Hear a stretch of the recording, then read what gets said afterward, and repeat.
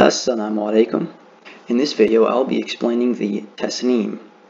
The taslim is the salam that ends the salah or the prayer.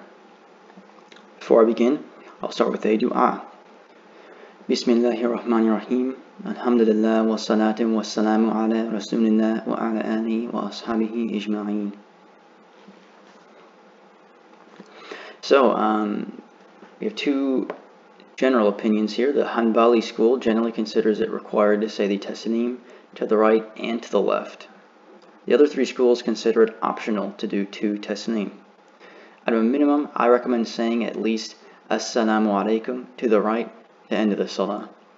Most commonly, you'll see people say Assalamu alaikum wa rahmatullah to the right and then to the left. Some will just say it to the right when praying alone. There's some variation. Um, ideally, if you have a teacher or an imam or something like that, you can ask them and follow uh, what they say. So, how do you say this?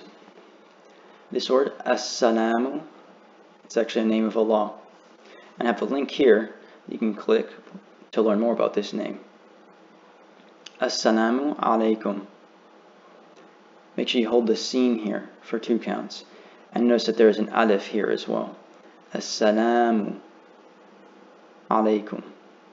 Assalamu alaikum. Assalamu alaikum wa rahmatullah. Assalamu alaikum wa rahmatullah. And notice the shadda as well in the name of Allah. So you would hold that lam for two counts.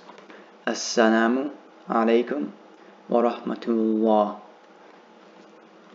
Translation is As-salam be upon you all. Kum means plural, three or more people you are talking to. Rahmatullah, and the rahmah, like the mercy of Allah. That is sim simple as that. The taslim is probably the easiest part of the salah.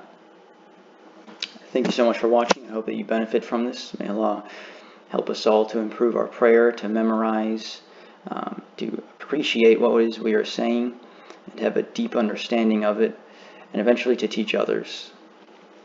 So thank you for watching. Assalamu alaikum wa rahmatullahi wa barakatuh. أقول قولي هذا أستغفر الله وأتوب إليك